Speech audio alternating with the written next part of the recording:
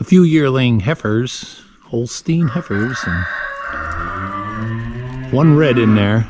They're just kind of outside here for a little exercise behind our calf barn here. And they only get let out here when we're cleaning our pen, uh-huh. which is once to twice a week, depending on the weather. But it's supposed to get really cold here at the end of the week, so we're kind of trying to get ahead. We just cleaned them up. I just took two out of this group and put them up at the bull yesterday with Mason.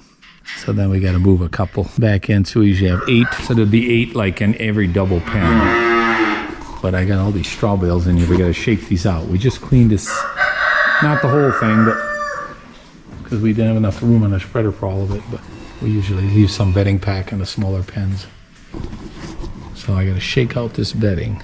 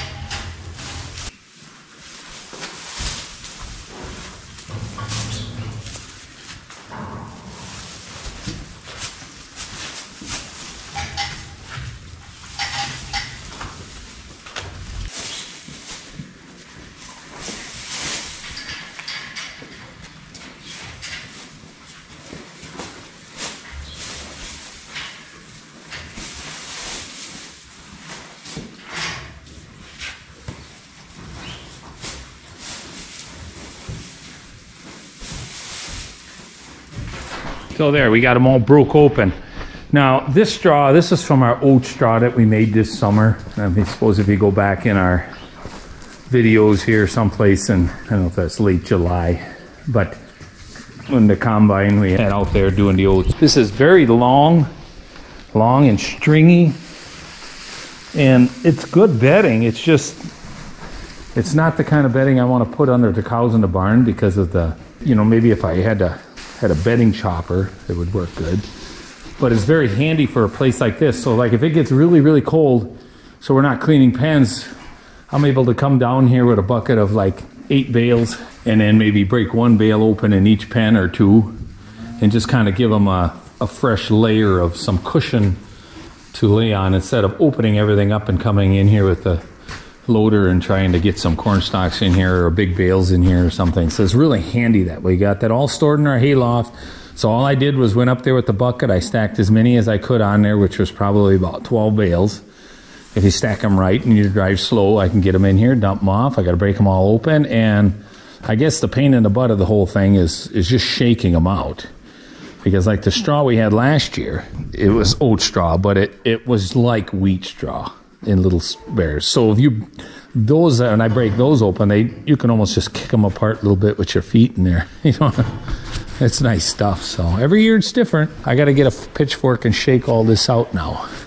Well, sometimes what we do is we use corn stalks, and with those round bales, I don't need a whole bale in here. It works, but then I have a partial left, and I got to find some place for it. This is a little handier for the way things are going here right now.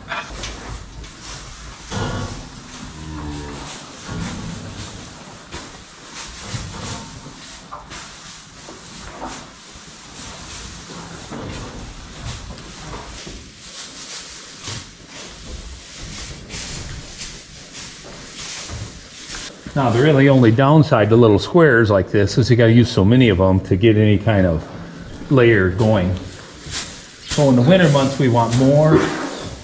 In the warmer months, we maybe only use about half for the same amount of animals or the same size pen. Simply because it's just there to soak up the moisture. In the winter, you got to give them some kind of warmth or cushion besides, which is called the bedding pack. So some places will leave some of the manure build up, especially when it stays like sub-zero for for like you know weeks on end.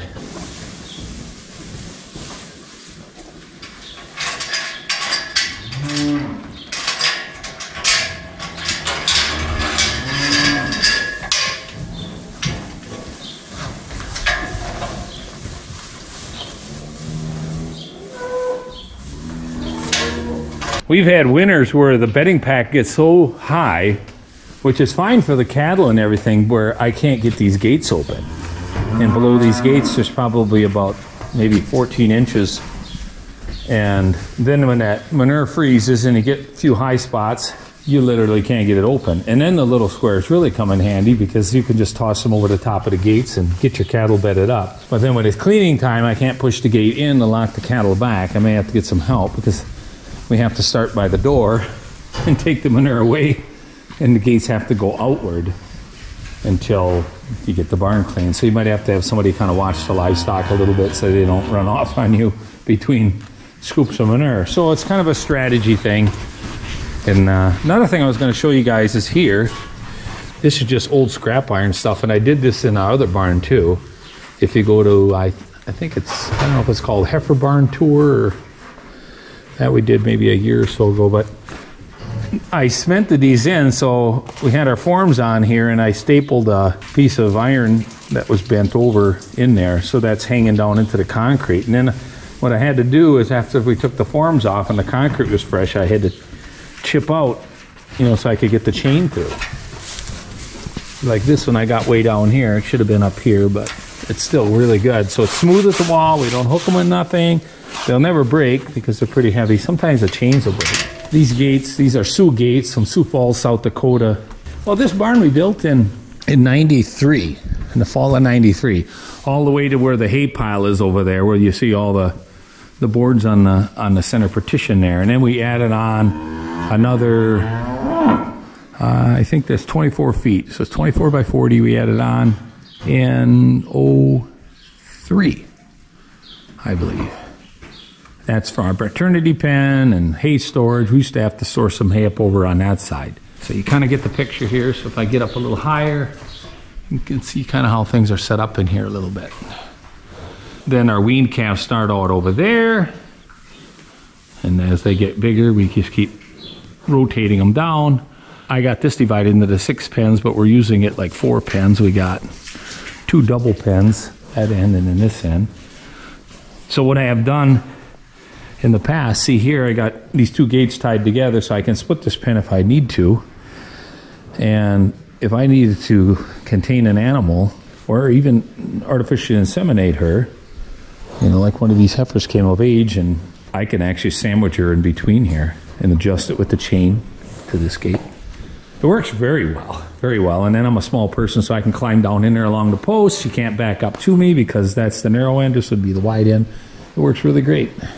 Never planned it. it just happened to be there like that. So it's amazing how those things work out. Even my openers here, how I put these little turning devices. Got a little piece of chain. And I, I suppose I can open one up here to demonstrate a little bit. See how that works. And that's just all yeah, some of it's used lumber, used steel even.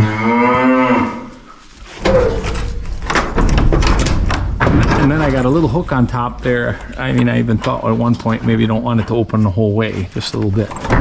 But typically in this barn lately, it's been either they're open the whole way or they're completely shut.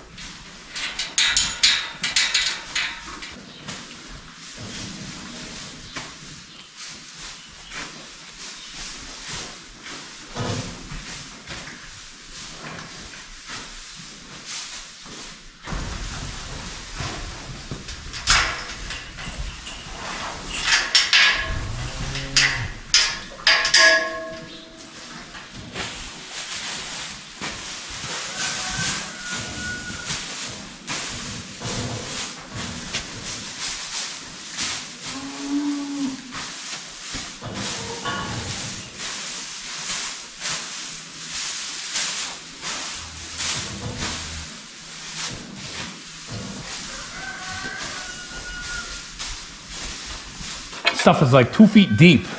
I want to show you my fork here. Used to be a four prong, one prong missing, and I just love it. Now we got another four prong fork, got all four prongs on yet. Is a little older too. I'm actually serious seriously thinking of cutting one prong off because this works way better. It's a little bit wider. Most of the three prong forks are kind of narrow. which they work good too. This one just balanced just right for some reason. Amazing how that works out. Something that actually broke that works out better than it was when it was new. What's going to happen here? There's a lot of grass in this straw, and you can kind of see there those heifers are kind of picking through it. And this it was young grass, you know, when you made the oats, it was still pretty young growth, little greens in there. And I suppose I remember back in '88 when it was so dry, even the straw we fed to the cattle and it was really good it was really shiny and nice you know it didn't get no rain on it, it was short so the little straw we did have my dad's like we're not going to use that for bedding. We're going to feed that. So we fed it we mixed it with the baled hay for the young stock and the dry cows and they ate every crumb up. It was just when it's that nice you know. And what happened with this stuff I ended up getting a little bit of rain in it. And to get that rain out again it wasn't you know humid and stuff so it wasn't so great but so it makes good bedding for here. Uh, we're going to see if we can get these other guys to get back in here for us without too much of a fiasco.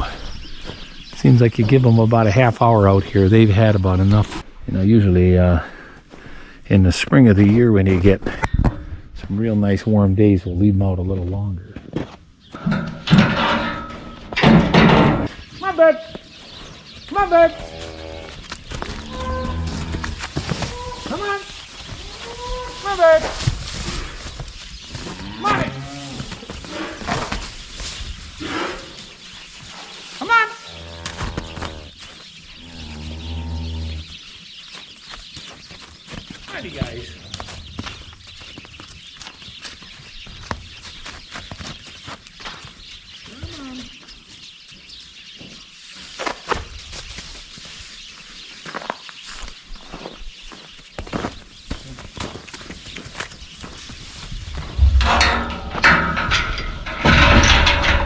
It's a lot easier to lure cattle than to try to force them into a certain direction.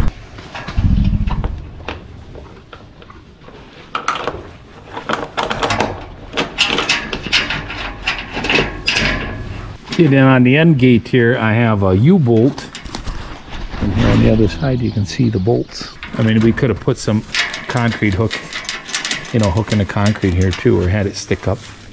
But what I did learn to do through experience is always put the gate hook a little higher so when the cattle put pressure on the gate it actually tries to lift it up instead of the hook lower where it actually then it forces it down. So it takes the pressure off the hinging.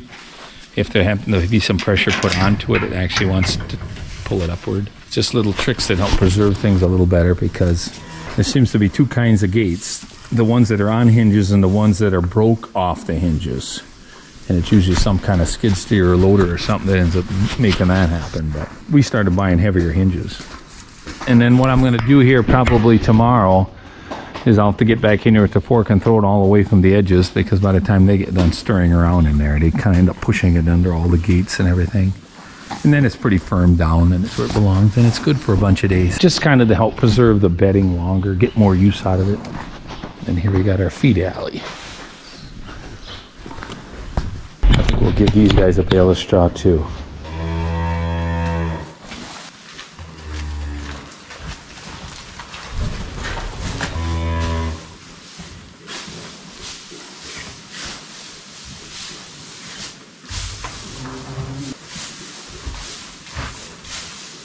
So far, it's been a warmer winter, and it just seems like it's hard to keep these pens dry. Seems like we're bedding and cleaning a lot. The winter ain't over yet. And I kind of like that. I like just tending the cattle where it's not really even that much work. It's just time. You got to give them some time to add a little bedding and push up their hay, and it just keeps a very close eye on your livestock. When you do that, it's so much better than dealing with something that is sick, you know, because you maybe neglected things a little bit or you, you didn't realize. I'm more than happy to do this. This is to me this is kind of relaxing. It's not it's nothing that has to be done exactly at a certain time of the day. But it does need to get addressed.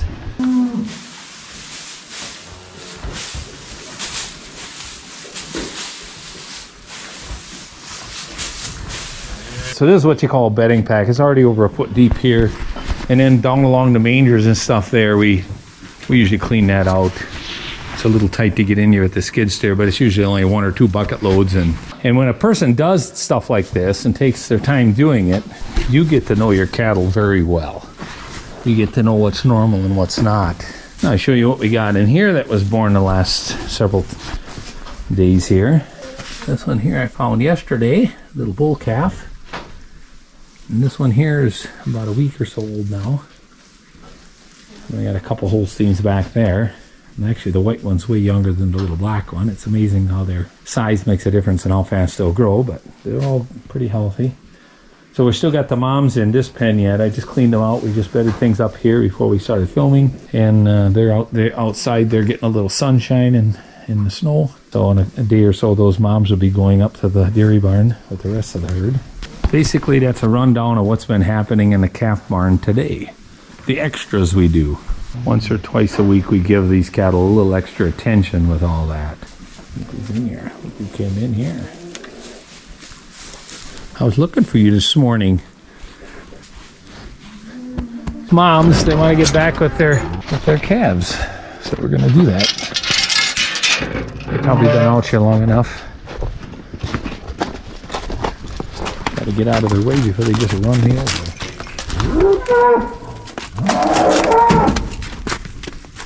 So this is the first calf heifer, this one. And that one, I believe it's her third calf. That's a really nice cow. And those calves, that's Jersey put into a Holstein. I'll do little just to mix things up a little bit. Sometimes it's just getting something pregnant. The Jerseys are more fertile. There's maybe more reason why we use it, but I like to cross things up a little bit. We're trying all kinds of things that way.